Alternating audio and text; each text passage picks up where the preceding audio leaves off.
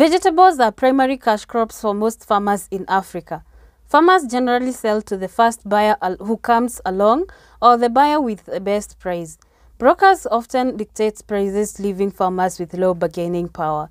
The produce farmers cannot sell to the buyers at the farm gate cause considerable losses. This area is uh, very fertile and the vegetables they do very well. Once I planted the vegetables, I couldn't sell. I could throw even to animals because uh, everybody was having them in plenty. I couldn't even store because uh, of sporage. Tunaenda pia na climate. Kuna kipindi ya jua mboga inaenda mpaka inafika 2000 by one sack, na kipindi ya mvua inateremka mpaka 300. Packet tunawekanga ya masaga ya 100, manago ya 150. Kuna kipindi sikiwe mingi unakuta inauzwa mpaka 30 from 100 au to 30. Hata ukiuza iwezi rudisha ile pesa yenye ulitumia katika gharama kushughulikia hiyo kasi ya mboga. Nonetheless, farmers have found solace in solar dryers. Apart from managing excessive food production during plenty seasons, solar dryers increase the demand for healthy foods, creating a sustainable income for farmers. A dried product, for example, kales or skumawiki, if they are stored in a, place whereby they are not able to co- be contaminated by moisture, they can even stay for more than two years. For carrots, they can even stay for one year. One kilogram of dried kales or sukuma wiki, we sell between 800 and 1,000 shillings. What are the other advantages of a solar dryer, you might ask? One is faster drying compared to direct sunlight. Why? The dryer is warmer than outside. They lower the spoilage risk due to fast drying. Dryers protect food against dust, pests, rain, and insects. It also saves labor. You do not need to keep transferring the foods inside when it rains or at night. It has high food quality due to high hygiene, color, and nutrition. Again, it is more economical compared to fuel or electricity dryers because of low maintenance and operation costs. Ultimately, the dryers do not harm the environment. They also last longer. However, everything with an advantage doesn't lack a disadvantage. The major disadvantage is that overdrying can lead to losses and poor hygiene can introduce microorganisms, leading to food fermentation and losses in the long run. The first aspect of drying is to maintain a high level of hygiene. Use clean water and clean all working surfaces before introducing your vegetables. Wash your hands, cover your hair, wear a dust coat, gloves, and cut your nails. Only use healthy foods and dispose of those contaminated by molds. Selection High food quality begins in the garden, not in the processing period. Use good quality vegetables. Select the vegetables that is sukuma wiki, managu, terere individually. Discard the damaged, rotten and diseased vegetables. Chop them to increase surface area for drying. I know you're probably wondering how dried vegetables maintain their green color. Well, here is how. Through blanching. Blanch all vegetables in steam or boiling water. This reduces enzyme activities that lead to loss of color, flavor, and texture. Steam blanching is the best. It prevents the loss of nutrients, prevents veggies from adhering to each other when drying. Under blanching might leave some enzymes in your sukuma wiki, managu, and amaranth. Dried vegetables with enzymes deteriorate during storage. What do you need for blanching? Knife and cutting board, large pot with lid and a basket,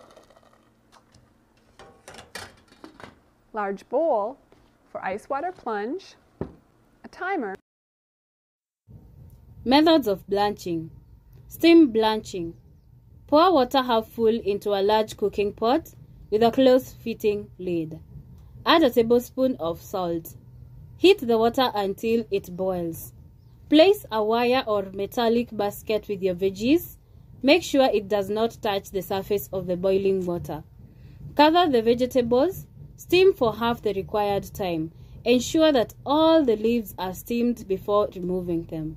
To check for proper blanching, sukuma wiki, managu, or amaranth should be wilted, heated through, and soft.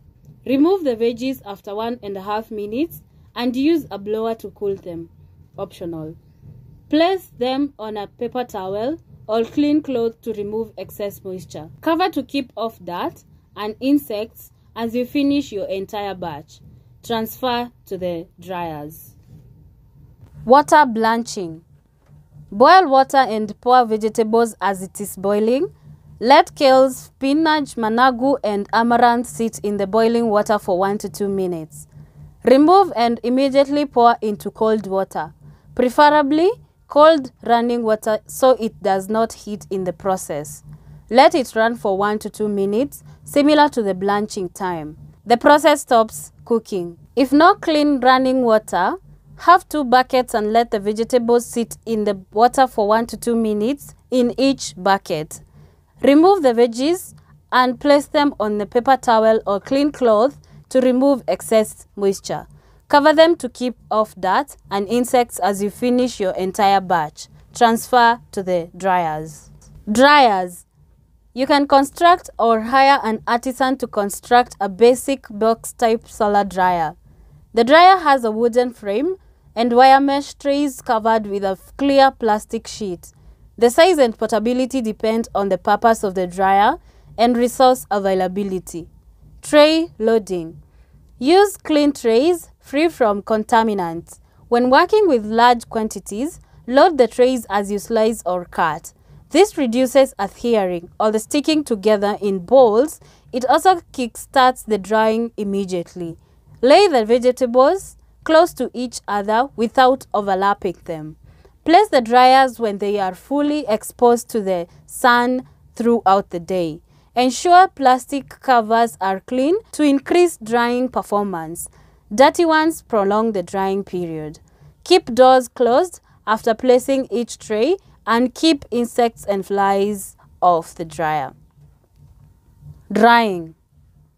Turn the vegetables every 6 hours. If it is too hot, open the loading doors slightly, about 20 centimeters, and cover with a mosquito net. Close as soon as it is cloudy. Whenever possible, keep the box type dryers from rain as they stop drying when it is raining.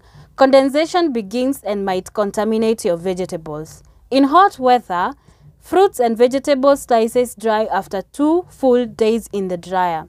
Remove the veggies and fruits when they achieve a crunchy feel. Otherwise, insufficient drying might encourage mold formulation. If not properly dried, allow them to keep drying for another one or two hours. Final product should have approximately 10% moisture content. This cannot allow enzyme development. Unloading the dryer. Unload as soon as the veggies or fruits dry. Unload in the afternoon, preferably when it is sunny, which reduces the chances of food condensation. If possible, package the product while it's in the dryer. Otherwise, package as soon as possible as foods are highly susceptible to pests. They are also likely to reabsorb moisture. Pack in airtight containers or bags. Brown papers placed in plastic bags are preferable. Smaller quantities have less risk of contamination. Glass containers are more attractive, but they should be placed in dark areas. Label your products with your company name, location, address, expiring and manufacturing dates. Store in a cool, dry and clean place. So, how much can you earn from dried vegetables? One kilogram of dried kales or sukuma wiki we sell between 800 and 1,000 shillings. While if it is fresh, it's only 10 shillings. One raw pumpkin will uh, sell at around 300 shillings, but when we dry, that the same pumpkin will sell at around 1,500 shillings. Thank you for watching, but stop, do not click off the video just yet. I really do appreciate you watching until the end of this video. If you enjoy videos about agribusiness, organic farming and making substantial income through agriculture, make sure to check out my other content. I feel you will enjoy it. More exciting and educative content on the way, so please stay tuned for that. If you have any advice, suggestions, or anything in between, feel free to comment below. I try to respond to you all. Otherwise, have a wonderful time as you continue accomplishing your dreams. Until next time, adios.